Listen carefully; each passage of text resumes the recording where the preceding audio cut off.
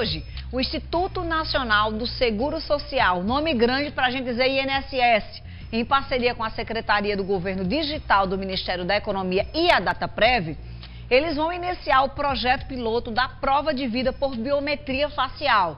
E quem traz mais informações sobre o assunto para a gente é a repórter Ingrid Feijó. Oi Ingrid, boa tarde. Como é que vai ser esse contato com os segurados? Fiquei curiosa.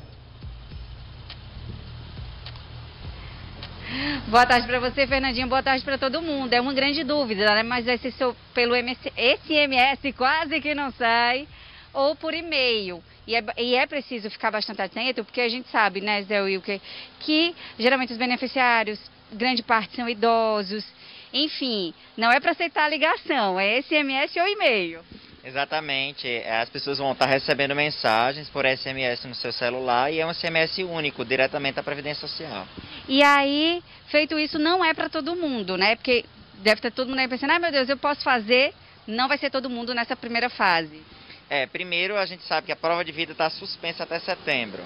Isso é um teste piloto que está sendo feito com segurados que têm cadastros no Denatran, no TRE para biometria e aí o INSS fez uma parceria com a Secretaria do Governo Digital, do Ministério da Economia, para exatamente fazer esse teste piloto, por assim dizer, e fazer a prova de vida por meio de um aplicativo. Então, se o seu aplicativo aparecer o ícone prova de vida, isso significa que você foi selecionado. E aí, como é que faz? Como é que é os procedimentos? Tem lá, né, esse íconezinho, você foi selecionado para fazer esse teste, esse piloto. É, é uma foto? Não, não é. Não, quando você clica no ícone prova de vida, ele vai te dar as orientações. Basicamente aquelas orientações de piscar o olho, mexer a cabeça para um lado, mexer a cabeça para o outro, enquanto você está com o smartphone com uma tela frontal apontada em direção à sua face. E aí ele vai fazer o reconhecimento de face e vai fazer essa prova de vivacidade. É bem parecido com as carteiras digitais que a gente já faz. Quem não tem muita habilidade vai poder pedir ajuda, né, alguém de casa, para poder estar tá, tá auxiliando nesse processo. Os testes eles vão a partir de hoje, mas até quando?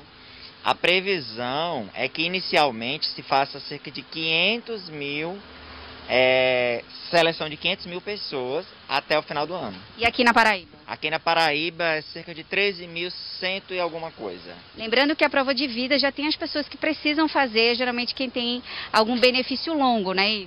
Exatamente. Pessoas que recebem aposentadoria ou pensão, que são benefícios de longa duração, já podem sim, devem fazer anualmente a prova de vida. Mas está suspensa até setembro. Está suspensa até setembro. Obrigada, Viseuico, pelas informações. Tá aí, Fernandinha, a gente conseguiu tirar algumas dúvidas, né? Quem tiver esse direito vai receber lá no seu aplicativo, vai ter lá o iconezinho e ia ficar de olho. Obrigada, Ingrid. Obrigada todo mundo agora de olho nas informações antenadas. Aqui é assim, a gente fala sobre tudo.